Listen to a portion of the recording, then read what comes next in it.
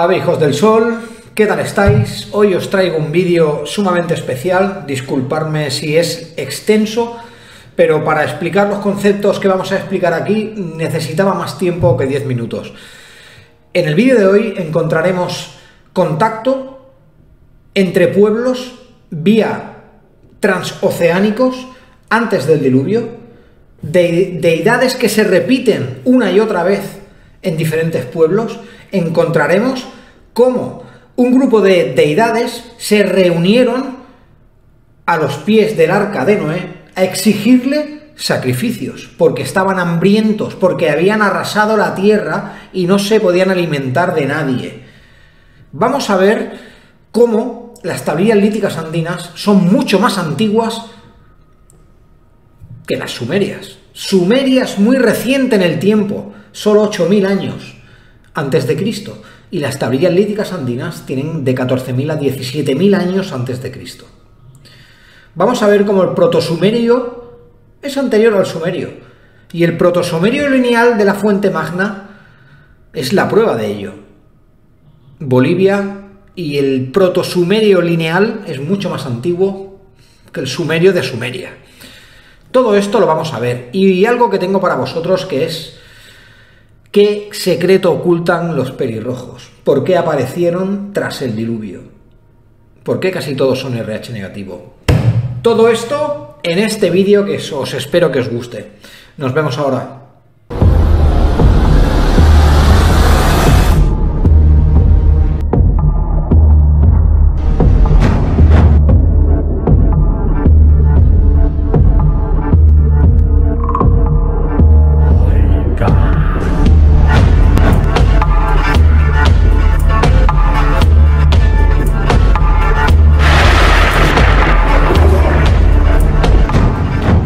Del sol, yo os saludo, gracias por estar aquí un día más en este gran canal que somos Clan.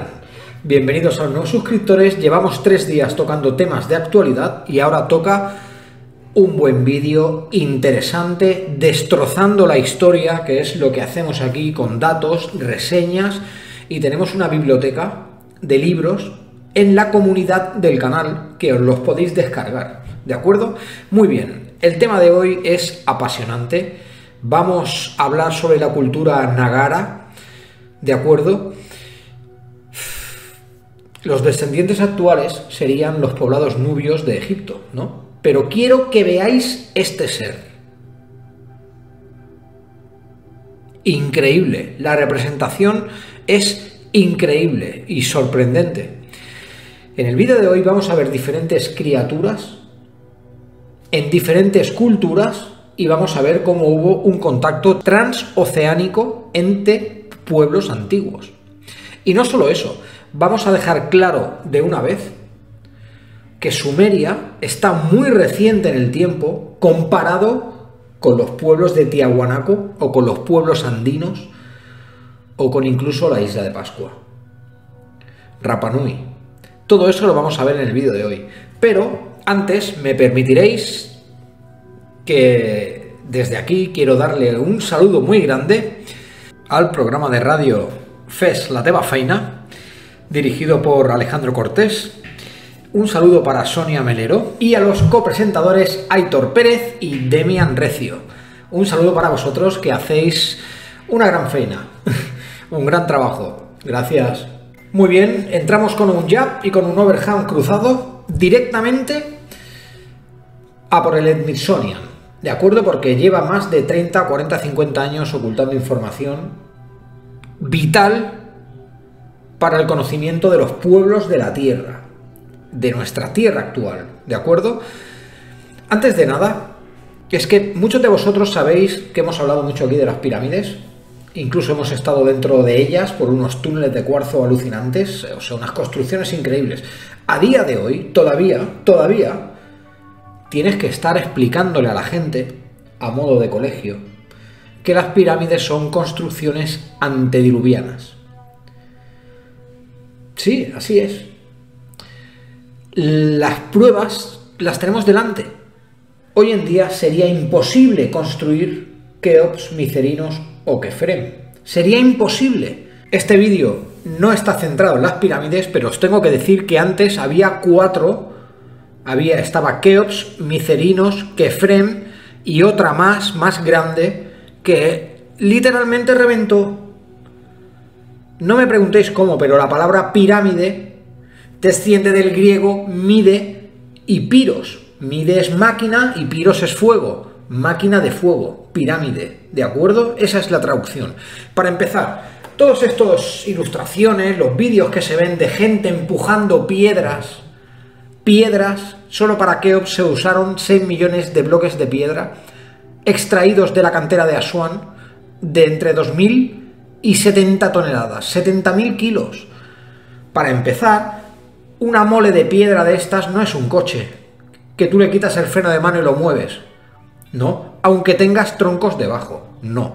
¿Por qué? Porque tú empujando o tirando o haciendo lo que tú quieras con una mole así, como las piedras de Balbec, con una mole así, solo ejercen fuerza los primeros, los primeros que están empujando, los que están tocando la piedra. La fuerza que es necesaria para mover una mole así, mm, da igual que haya 100 hombres o, 500 empujando de ella.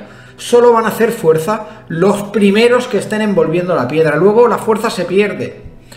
Me hace gracia porque mucha gente me dice, sí, lo hacían con troncos. ¿Sí? ¿Lo hacían con troncos? ¿Sabes? Es que, claro, esto pasa porque la gente no estudia. ¿Sabes quién es Ptolomeo? Era un romano que viajó en época, en épocas de Cleopatra a Egipto. Y él cuando vio esas piedras dijo, vaya, ¿y esto cómo lo habrán puesto aquí? Y empezó a hacer bocetos. Y este romano llamado Ptolomeo dibujó hombres empujando las piedras porque es lo único que se le ocurrió en la cabeza. Y de esos bocetos han salido todas las obras literarias, películas de cine y chorradas que se ven hombres empujando piedras. Así es. Y seguro que habrá algún despistado que me dirá, no, no, las llevaban por el Nilo. ¿Sí? 6 millones de bloques de piedra solo para hacer una pirámide y lo van a llevar por el Nilo. ¿Sabes cuántas pirámides hay en Egipto? 111. Y muchas de ellas muy alejadas del río. Aparte, estaría el fondo del río lleno de cuadraditos de piedra que se han caído porque el río sube y baja y hay mareas y hay rocas y se hubieran caído de impactos o de que se hubiera tronchado el barco. Estaría el fondo del Nilo lleno de cuadraditos, restos de las construcciones. Todo este movimiento que generó este romano mm, con sus dibujos propulsó la idea de que las pirámides se habían construido así, y esto ya viene desde Roma. Yo he estado ahí dentro, incluso muy abajo, en la Cámara del Caos, y yo prometo que eso son máquinas de piedra. Y la ciencia ortodoxa no reconoce ciudades complejas hasta antes del 3500 a.C. Atención, ¿eh? ciudades complejas. Hace 3000 años, los egipcios iban en taparrabos. Siempre lo digo, vivían en casas de adobe, que es caca de vaca secada al sol, como se hace al norte y en las costas de África, ¿de acuerdo? Y bebían de los charcos. Las pirámides tienen integrado el número pi en sus cálculos matemáticos. Tienen geometría sagrada. Tienen la perfección en la piedra que es una cosa que no hemos logrado nosotros. Por lo tanto, a ver si dejamos ya de decir que las pirámides los hicieron los egipcios. Los egipcios fueron los últimos en llegar ahí. Y lo vamos a ver ahora. La prueba, la más increíble que te puedes encontrar, yo no sé cómo no se están cambiando los libros de historia, pues, pues porque no interesa ya. Ya no interesa. Si lo que interesa es borrar la historia, no contar lo que sucedió.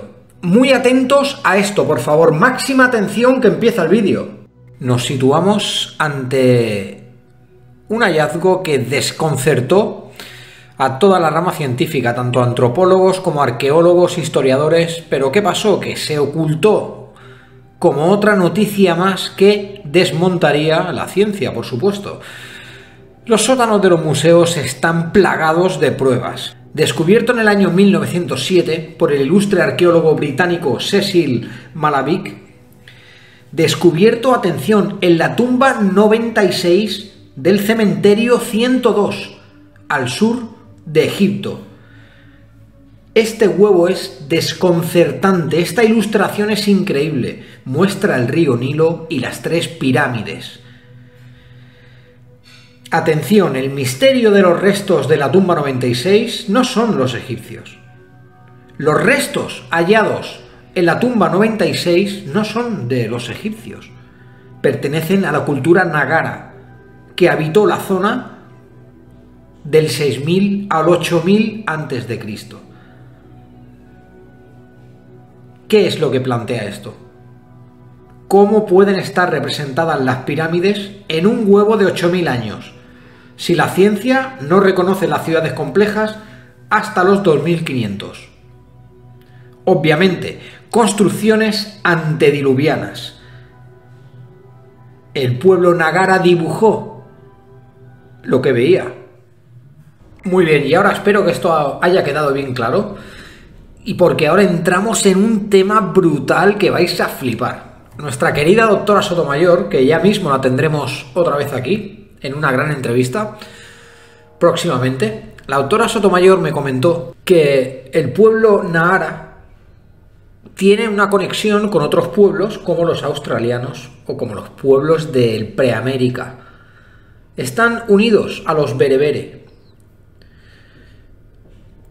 yo sé que es complicado entender las migraciones de los pueblos antediluvianos. Sé que es complicado. Sobre todo cuando hay muy poca base de estudio, simplemente tenemos las tablillas líticas andinas. Tenemos que recordar que en África no, casi no hay escritura. Todos son narrativas. Pero aún así van pasando de generación en generación muy fielmente. Pues muy bien. Quiero que miréis esta foto porque esto está completamente ligado. Atención a lo que estamos viendo aquí. ¿Veis la similitud, la simbología? Símbolos aborígenes australianos coinciden completamente en diseño y forma con símbolos en Turquía de Göbekli Tepe. Y esto no es todo. Símbolos en las espaldas de los moais estos símbolos también los encontramos en Göbekli Tepe. La conexión entre pueblos antes del diluvio es una prueba que se tendría que estar estudiando ya en universidades. ¿Queréis ver otra prueba que tenemos aquí? La fuente magna, encontrado en Bolivia, en el lago Titicaca, antes, mucho antes que Sumeria, por lo menos 8.000 años antes. 8.000 años. Si vemos esta fotografía, el relieve de Bolivia anterior a Sumeria. Porque en Sumeria ya vemos cómo la escritura está un poco más perfeccionada, un poco más evolucionada. La escritura va en consonancia a la evolución social. Y ya encontramos bajos relieves en Sumeria. Muy bien, y este me permitiréis que, este trocito lo quiero explicar muy bien, ¿de acuerdo? El tipo de escritura encontrado en la fuente magna es una lengua muerta denominada escritura cuneiforme lineal, también denominada proto-sumerio, anterior a Sumeria. Y la escritura que encontramos en Sumeria es una escritura más cómoda, más desarrollada, porque es más cercana a la nuestra. ¿Me entendéis? Por lo tanto, el sumerio, el proto-sumerio, no viene de Sumeria. Viene de mucho antes. Y os tengo que recordar, perdón, que los sumerios no eran los únicos que escribían en arcilla. Antes ya lo hicieron los caldeos. Los caldeos ya subían a sus torres a escribir con arcilla mucho antes que los sumerios. Por lo tanto, tenemos un idioma que se ha ido modificando y adaptándose a los diferentes pueblos que se han ido desarrollando mediante rutas de navegación o contactos transoceánicos. Pero que quede muy claro que Tiahuanaco, Bolivia, los altiplanos de Bolivia, Sacsayhuamán es mucho más antiguo que Sumeria. Los Andes estaba antes. El pueblo del Preamérica antiguo guarda muchísimos secretos y aquí ha traído las pruebas nuestra querida doctora Sotomayor con, su, con sus obras históricas literarias basadas en pruebas, en pruebas. Es alucinante. ¿Veis la similitud? ¿Veis la simbología? Por eso es tan apasionante el mundo de antes del diluvio. ¿Qué pasó hace 11.000 años? Muy bien, dos fotografías más y ahora vendrá la exposición, ¿de acuerdo? Puede que no sea de gusto para todos, pero lo que estamos intentando es unificar el contacto de los pueblos antes del diluvio. Y qué casualidad que todos los dioses tienen la misma pinta. Ahora hablaremos de ellos. Fijaros en esta foto, todo es, es muy reconocible, es un Moai, ¿de acuerdo? La sorpresa fue cuando se empezó a desenterrar estos moles, estos colosos de roca. Estos Moais, la posición que tienen las manos entrelazadas bajo la cintura es la misma posición que podemos encontrar del hombre de ojos negros de Göbekli Tepe. La similitud es brutal y estamos hablando de Turquía y Rapa Nui, la isla de Pascua, que está es, el, es de los puntos más alejados de cualquier sitio del globo. Miles y miles de kilómetros y cientos y cientos de años separan estos dos pueblos, estas dos culturas, estas dos estatuas. ¿Cómo es posible que tengan la misma forma? Es cierto que varían detalles, pero la posición, un humanoide con los brazos entrelazados con las manos bajo la cintura. Y ya hemos visto antes el Moai cómo era por detrás. Por lo tanto, es una obviedad. Diferentes tiempos, mismos dioses que iban pasando de etapa en etapa. Y los pueblos copiaron esto. Fijaros en esta foto. Aquí encontramos una fotografía que es, es de mis preferidas, la verdad. Me la pasó la doctora Sotomayor y es increíble. Primero tenemos a un maya, un azteca. A ver si encontráis vosotros lo que une a estas tres culturas. Encontramos una cultura de los Andes, una cultura del Pacífico y una cultura de la Polinesia, de Birmania, de Tailandia, de Sumatra, quién sabe, pero son tres culturas diferentes con un mismo rasgo. La decoración y el alargado de las orejas en las tres culturas separadas por tiempo y espacio. Ellos dejaron huella en los pueblos. Muy bien, llegados a este punto, gracias por aguantar el vídeo hasta esta parte. Si hemos llegado aquí, es que eres un pro ya, ¿de acuerdo? Ya sé que hay muchas preguntas y ya sé que podemos profundizar más en cada tema. Pero lo que estoy intentando hacer es una cronología universal, ¿de acuerdo?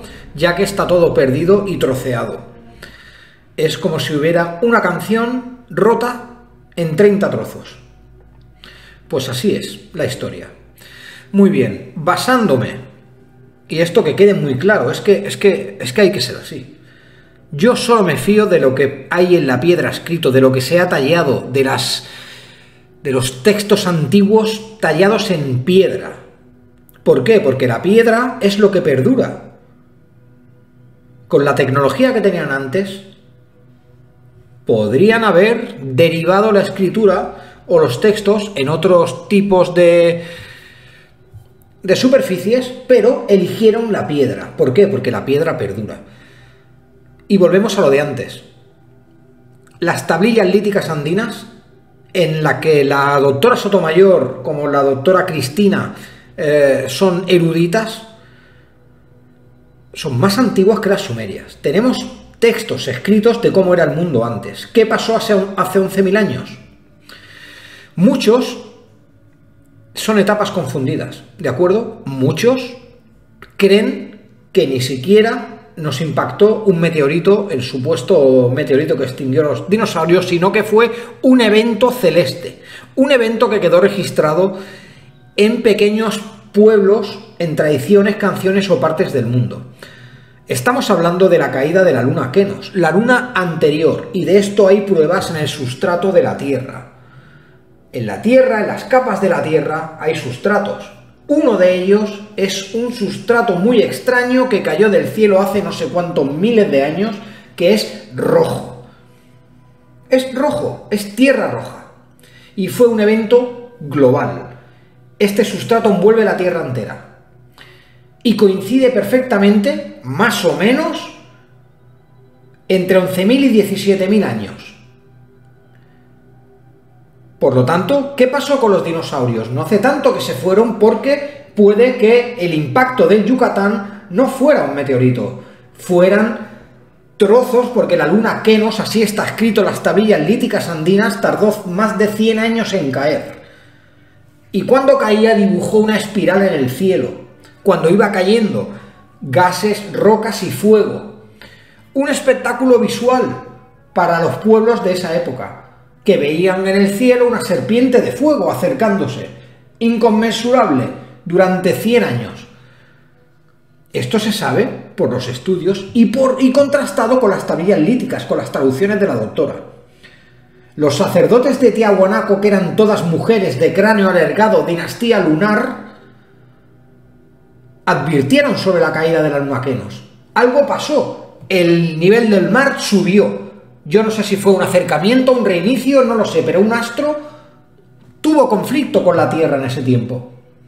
Los mares se alzaron, los pueblos se ahogaron, algunos, otros se refugiaron en cuevas, en cámaras de aire estancas, naturales, en cavidades que, que luego se quedarían ahí 50, 100 años, quién lo sabe. Pero cuando la tierra se inundó, los pueblos tuvieron que volver a empezar. Y solo algunos guardaban recuerdos de cómo era la vida antes. Y ahí fue cuando se empezaron a hibridar las razas, porque os tengo que recordar que la raza aria apareció tras el diluvio, con los pelirrojos. Por eso muchos de ellos son RH negativo. Por eso, si vas a operar en un quirófano a un pelirrojo, un pelirrojo auténtico necesita el doble de anestesia que un humano normal. Necesita más medicación si van al dentista. Su piel necesita menos luz porque están diseñados, adaptados a otra época, a la época antediluviana, antes del diluvio. La hibridación surgió, los pueblos se mezclaron en cavidades subterráneas y en las cimas de los valles como Machu Picchu. Y luego tenemos un gran abanico de deidades que se iban paseando por los pueblos a ver quién quedaba para adorarlos. Yo creo que el diluvio está relacionado con la luna Kenos, así apuntan las pruebas. Estos son trabajos históricos. Esto no es un sueño, ni es, ni es un vídeo de YouTube, ni un contactado. No, no. Estos son vídeos basados en estudios reales, propulsados por gente culta. Me encanta todo lo que es lo del diluvio, porque aquí podríamos encajar cómo menguaron la raza de los gigantes, cómo se alzaron unas razas y otras no cómo los dioses seguían buscando gente que los alabara después del, destrozo, porque yo os reconozco que la Biblia la cojo con pinzas, ¿eh? La Biblia no os podéis creer nada. Ya sé que muchos de vosotros me mandéis información sobre la Biblia, pero es que no me mandéis nada porque está 13 modificaciones tiene la Biblia. 13 modificaciones. No, no te puedes creer nada, por eso me creo más la piedra según la Biblia, cuando, y nos pasamos al tema bíblico un momento, esto durará muy poco, cuando Noé eh, hizo tierra con el arca, los dioses se arremolinaron junto a él, muertos de hambre, y le hicieron, le hicieron sacrificar más de una res. creo que fueron siete. Sacrificó siete animales allí, justo a hacer pie, para los dioses porque se arremolinaron a su alrededor muertos de hambre. Y necesitaron sacrificios. Aquí entramos en algo muy complicado que es qué visión, qué creemos nosotros que es una deidad o es un dios, o si son buenos o malos. ¿Os habéis parado a pensar que puede que eso de bueno o malo sea una cosa nuestra, de los humanos? Estas entidades, estos seres que muchos no murieron ni con el diluvio, ya hemos dicho muchas veces que los caídos, nosotros, los, que hemos estudiado las tablillas líticas y tenemos los vídeos en el canal, hemos logrado llegar a entender que los caídos no es que cayeran del cielo, no es caer, es vivir. Hay muchas malas traducciones que hemos dado por buenas. Los que vivieron cuando la luna cayó del cielo. O los que vivieron cuando el cielo cayó a la tierra, haciendo referencia a los supervivientes de otras épocas, otras criaturas, o los que vivieron cuando el cielo cayó a la tierra, porque el evento de la luna Kenos, en realidad, parecería que el cielo estaba cayendo a la tierra literalmente. Pero aquí en esta etapa teníamos varios tipos de entidades o criaturas y otro tipo de humanos. Nosotros ni siquiera éramos como hemos, como somos ahora, perdón. Por eso que quede muy claro, la Biblia ha entremezclado y ha sacado una religión de algo ocurrido hace mucho, mucho, mucho tiempo. Y no es caer, es vivir. Por lo tanto, las civilizaciones preadámicas existieron y quizá no eran como nosotros. Tenemos que tener en cuenta que contra más atrás en el tiempo vamos, más longevos eran las criaturas de antes porque más cerca de la creación estaban. Y puede que no seamos las primeras, las primeras criaturas. Eh, según los textos védicos, está en la sexta. Por lo tanto, tenemos entidades, dioses, mm, que van pasando por las etapas, intentando crear civilizaciones cada uno en una parte del mundo. Pero tenemos dioses con deseos muy terrenales. Tenemos dioses que son bélicos. Mm, yo no sé hasta dónde llega el proyecto humano, pero quiero que sepáis que puede que estemos al final de un proceso. Muy bien, y esto está escrito en piedra, ¿eh? y es una puntualización muy exacta. Lo que la Iglesia eh, los elementos de poder o, quien sea ha intentado ocultar es esto. Es esto, es un mundo anterior al nuestro. Es una mezcla de razas, un cataclismo y una hibridación. Y unos dioses que antes eran muy terrenales. Que ni siquiera murieron con el diluvio porque no pertenecían a esta tierra. Pertenecían a otra época. Antes las plantas eran más grandes, los hombres más grandes, todo era diferente, había más oxígeno en la tierra. Son etapas de la tierra. Y estas criaturas eran capaces de sobrevivir a una etapa a otra. Y fueron tomadas por dioses. Y recordamos, o recordemos, perdón, que había dioses terrenales y dioses del cielo. Por lo tanto, aún se complica más la cosa. Me gustaría que, que, que, que este, este, trozo que os voy a comentar ahora es muy importante porque son los hallazgos de la doctora Ruth Rodríguez Sotomayor. En las tablillas líticas está escrito esto, y me lo sé de memoria. Cuando bajaron las aguas, tres razas de piel blanca salieron de las galerías de la tierra. Los guaras, los caras y los guaraní. Unos se extendieron por rutas marítimas hasta llegar a Argentina, otros se extendieron por Brasil y otros se extendieron por otras rutas hasta llegar incluso a la Polinesia pasando por Oriente. Y esto está escrito en piedra y ocurrió tras el diluvio.